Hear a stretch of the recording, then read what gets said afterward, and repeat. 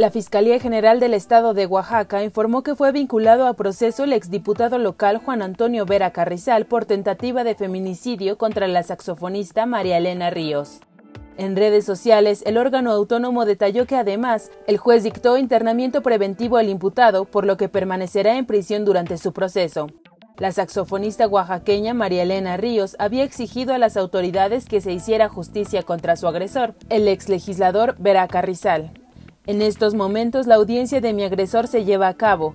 Hago votos para que el juez Jorge Víctor L. Velasco Castellanos y el presidente del tribunal Eduardo Pinacho Sánchez privilegien la justicia y no le den libertad a mi agresor, afirmó la joven. Vera Carrizal es el presunto autor intelectual de que la artista fuera quemada con ácido, delito que fue realizado en septiembre de 2019 por terceros, quienes también ya se encuentran detenidos.